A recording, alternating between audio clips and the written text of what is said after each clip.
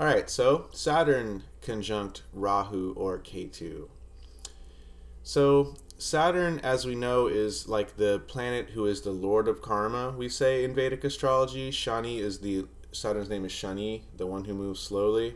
Um, he is he is seen as the lord of karma and is like kind of the biggest factor on your just your heaviest karmas, your trauma, you know, your uh, disease, any of this sort of stuff. Uh, we all know that Saturn is the planet of that. He's the planet of bearing burdens, you know.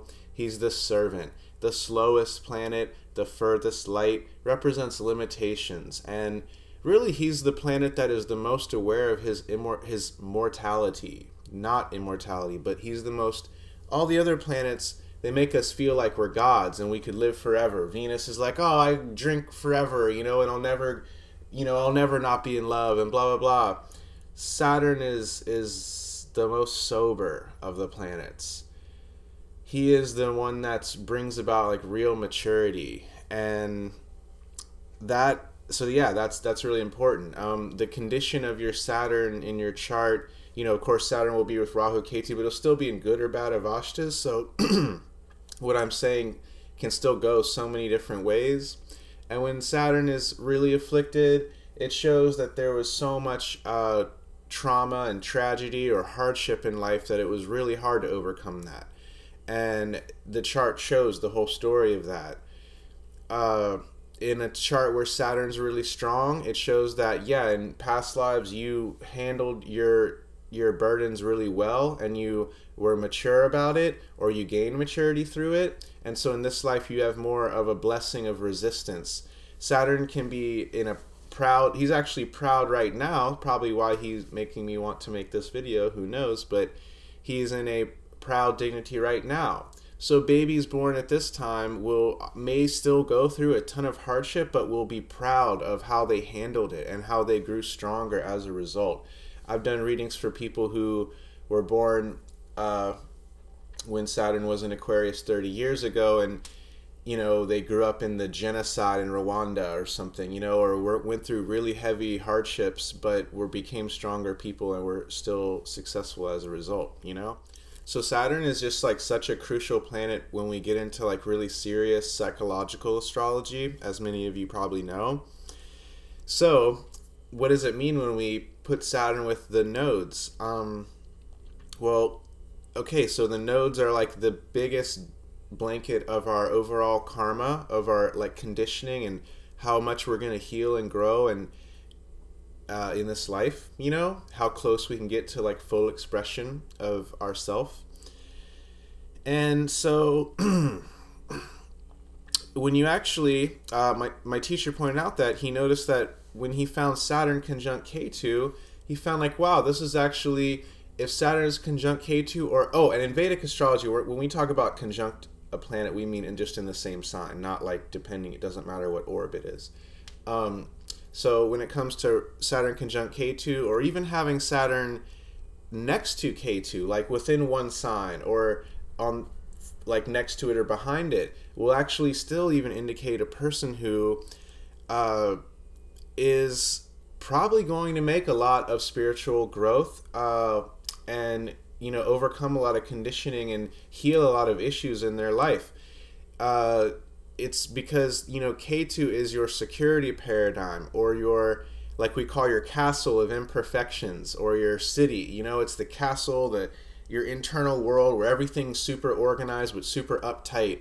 Um, you know, you have Moon with Ketu, like I said in previous videos, you'll want to be very one note emotionally. You know, it's like only this type of music can be played in this castle always, never anything else. With Saturn, one can be okay, having Saturn with Ketu, Well, on the one hand, this is good because Saturn is our hardship, so one knows that the castle of imperfections is imperfect. They know that the the castle in the city walls, there's not that much to be gained from it. Um, in other words, they know that sticking around in their only their their normal security paradigm that they've carried with them is not serving them ideally. In other words, they're more mature about their ego issues. They're more aware that, okay, my ego issues are holding me back. My trauma is holding me back. They want to get out of that castle because Saturn's there. So that's the thing is like, if Venus is with Ketu, you'll want to have things like be really nice for you all the time and you won't maybe want to just like go out of your security paradigm and work on your shit wherever rahu's pointing you to. Um, saturn conjunct ketu means that your own innate paradigm is isn't ideal and you're wanting to you're going to want to get out to rahu more. So that's actually a good thing for spiritual evolution. I hope that makes sense. Um, so this is actually saturn conjunct ketu We'll get to Rahu too. That's also an interesting one. But Saturn conjunct Ketu is really great for balancing out your karma and your lunar nodes, and it's a great placement for psychological healing and spiritual growth. As far as all these lunar node placements go, remember anything conjunct Rahu Ketu is kind of a tough thing. Um, and I can't just like make it all flowery. I can't sugarcoat it for you guys. Sorry. Um, but this is actually an amazing spirituality placement. You'll find a lot of people who became masters or yogis or mystics, people who have wide reputation for having overcome their issues and become, you know, basically unaffected uh, by anything life throws at them, they'll have, you'll actually notice Saturn with Ketu or near it, like within one sign or the other. Um, and yeah, so this is actually a very still a very tricky placement, but it's it's kind of really interesting, and you might see a lot of clients with this. You know what I mean? Um, because these are people who are sincerely trying to get answers and trying to know where how can I get out of this this Saturn Ketu past life samskaras I've been creating. How can I break them? Um, and of course, that's going to be different for everyone depending on Rahu. You know what I mean? But uh, but basically you know this already. Um, Saturn is the least enjoyable planet, so it makes one want to get out of their security paradigm if it's with Ketu because it's the least enjoyable security paradigm, right? Another way of putting it is they've been servants for many lives. They've been in this Saturn role of being like a real yeah, these people are just hard workers. Like these people will work so hard, so much harder than they need to a lot of times even.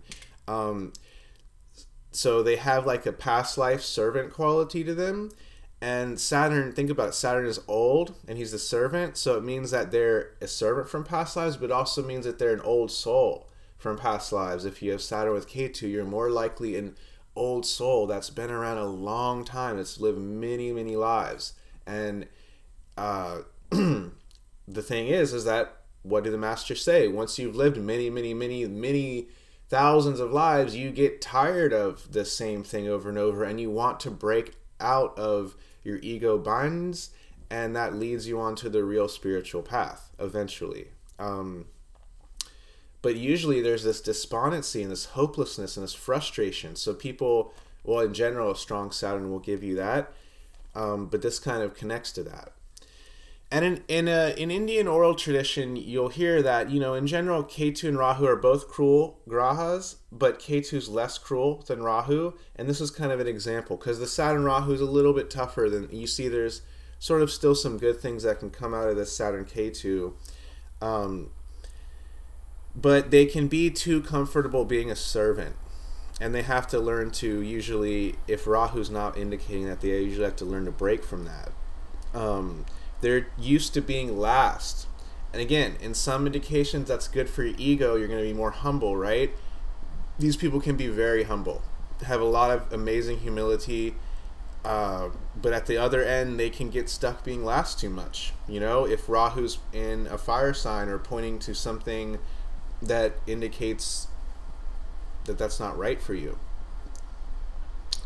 Um, these people can just, yeah, I mean, they'll tell you you know they'll go through like an insane hardship and they'll say like one thing about it you know in their book or in their biography. And then a saturn rahu person like their entire life will be defined by that hardship. So that's a good example of how different this is.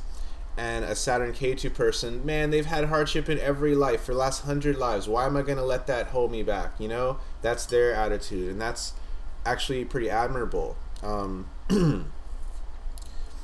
uh, these another interesting thing about Saturn Ketu is that they're extreme they're usually extremely skilled at something that's weird or hard or even undesirable or just a peculiar line of work or a peculiar karma. Because again saturn's the lord of karma. So they have a particular past life ketu karma that they have to balance out when saturn is there. you know some examples of that would be like uh, i think mark twain had saturn conjunct ketu connecting to his writing stuff um, such an unbelievable writer uh, Dan Plunkett, this pro skater that I know just from my skateboarding history, he has this placement and he's like a freakishly good skater who just people just don't like he just jokes with his tricks. He doesn't even he's not even trying and he's like better than most people and it's definitely some weird past life gift he seems to have. Um, you know, Bill Murray, Jim Carrey, Robin Williams, some other examples. Uh, people who have spe- very specific past life karmas. Now, if it's really good avasthas you can have, or if there's other weird, usually with these celebrities, there's some other interesting things going on, is what I'm trying to say, not just this. But, you know, yeah, um, Rob Lowe, Tom Cruise, Scarlett Johansson, uh, Jordan Peterson, real expert psychologist, you know, that's kind of speaks to the Saturn Ketu. Uh, Meher Baba, the master, the Indian spiritual master, has an exalted Saturn with Ketu and Libra in the ninth house of like gurus and wisdom. So he's a good example. He was silent for 42 years. I mean, that's so stoic. That's such a Saturn thing. Yogananda had Saturn Ketu very close. Um, Ramakrishna also had them conjunct, I think, or very close. So you see this quite a lot. Um, and so these people um, can be so used to suffering in life that they aren't phased by it, like a classic yogi. You know what I mean? So that's one of the really brilliant and great sides of displacement.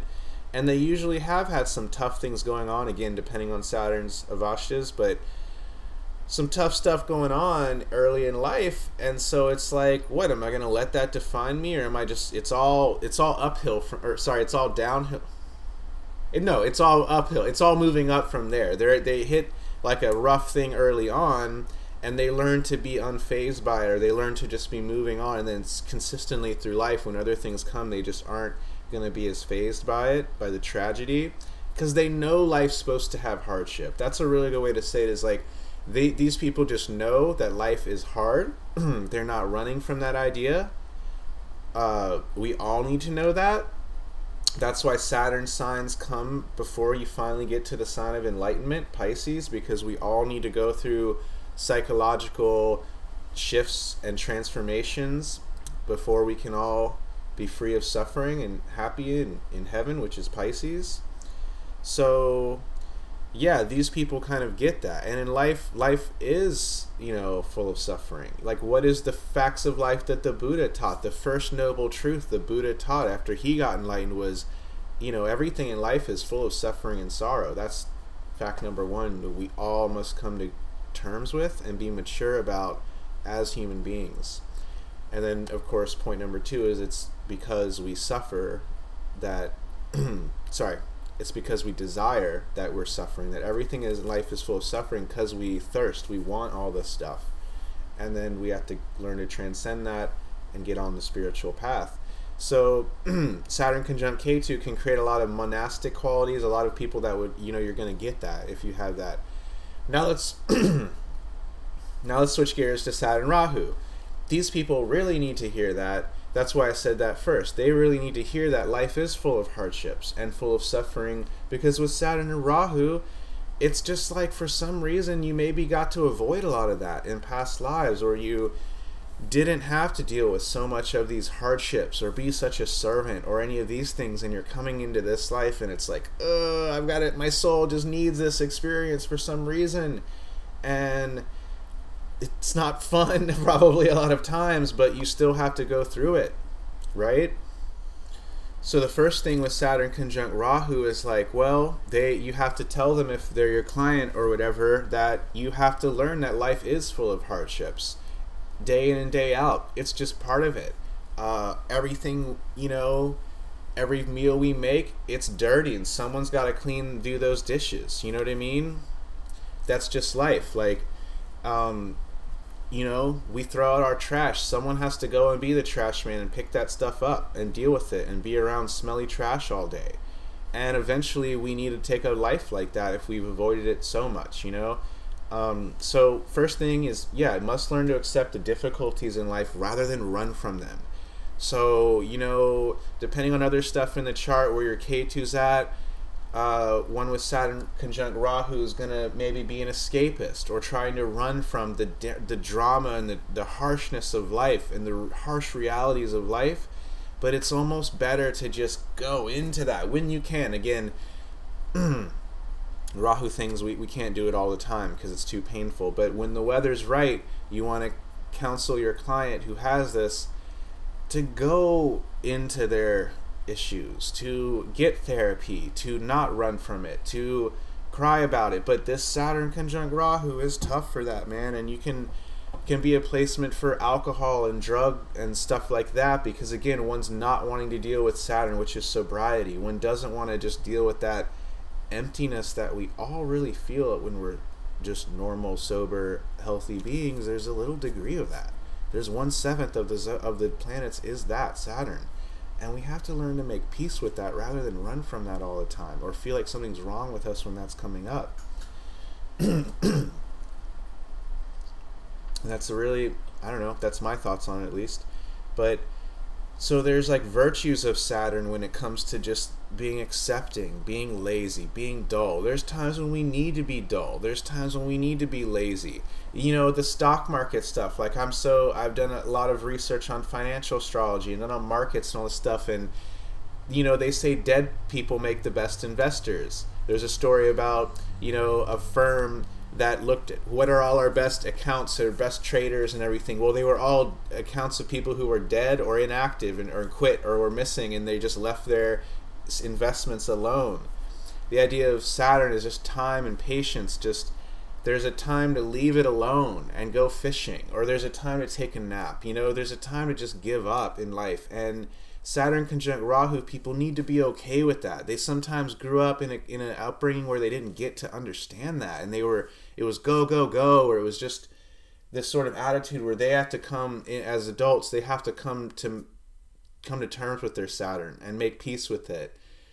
And this is not something that's always easy. So it's not. I don't want to make it seem like I can just make this happen for you. You got to get therapy. You got to get readings. You got to go. You got to really engage with your trauma, your issues, your Saturn, your Saturn's your, your cross you're bearing, you know, your burdens.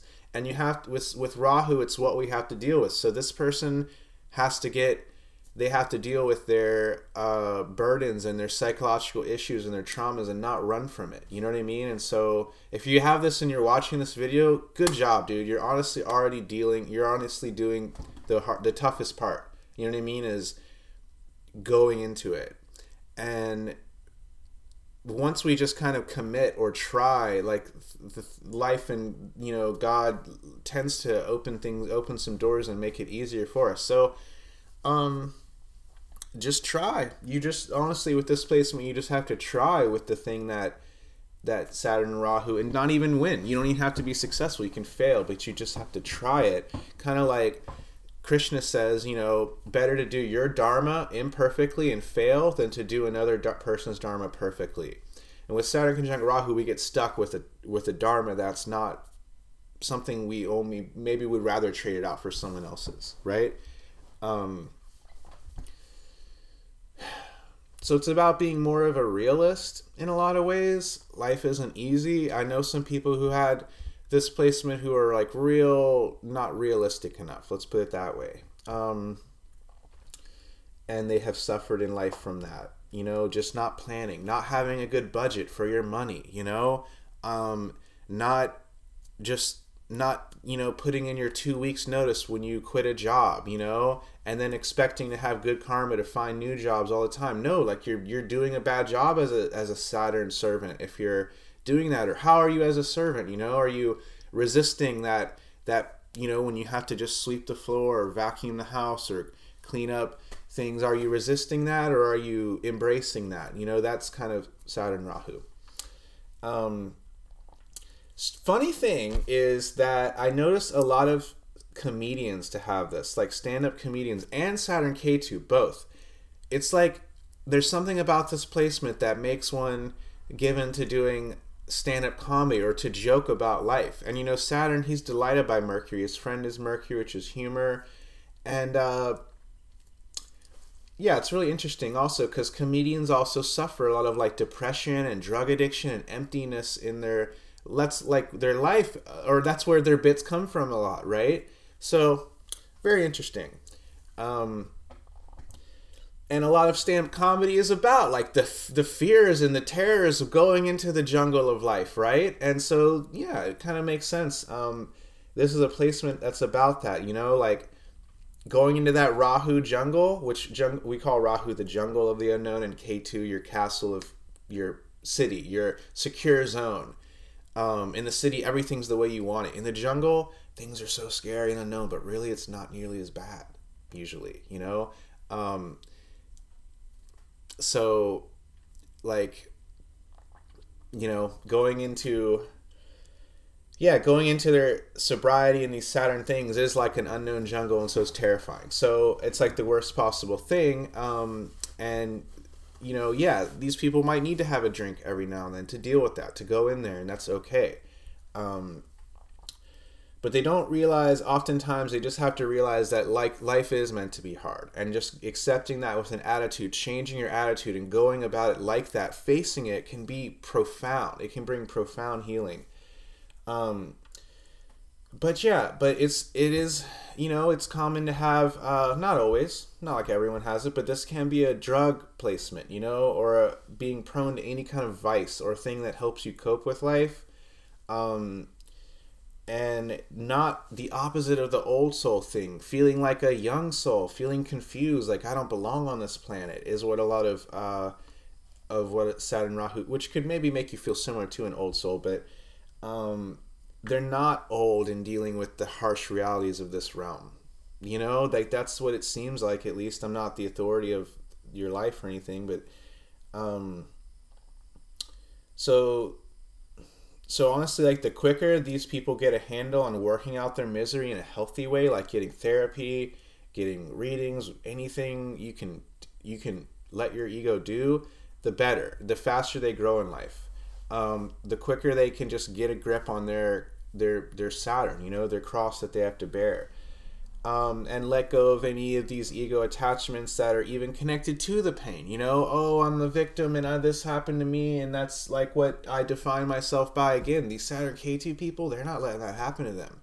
And uh, it's so learn from both, you know, both of these can learn from each other. Um, learning that bad things lead to good things and make like they make way for good and bad things are just like one you know in your path you have to step on different stones to get across a stream maybe. And you know one of them is just a little rockier and you get a little wet but it got you across the stream and that's part of it. Like there's steps in life we, you might have to move into a terrible apartment uh, and it's horrible but then that leads you to find the other apartment that was perfect for you you know? And we just we have to have this kind of acceptance and detachment from life to live this drama the best. Um, um, so it's good for your clients to help them remember when a bad thing in their life led them to something greater actually and wasn't so bad. That's a good thing to help these people understand.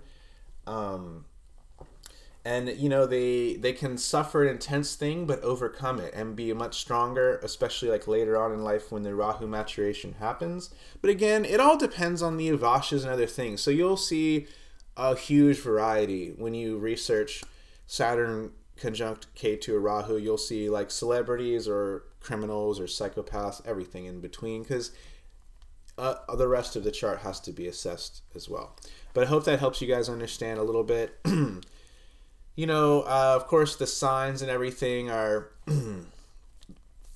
going to be an even more important factor. So, you know, you have to understand that you're not understanding all of the lunar nodes just by reading the conjunctions. You have to read signs and houses and the lords and the avasthas of the lords and all this crazy stuff to really get the full picture. Hope you guys enjoy that.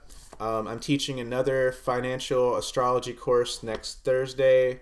Um, you guys should check that out. It's going to be focusing on Jupiter and how Jupiter is the foundation of wealth and um, you know, a lot of really useful techniques for people on their individual charts and also talking about markets and mundane astrology and crypto and all that stuff. Um, all right, thanks, y'all. Take care.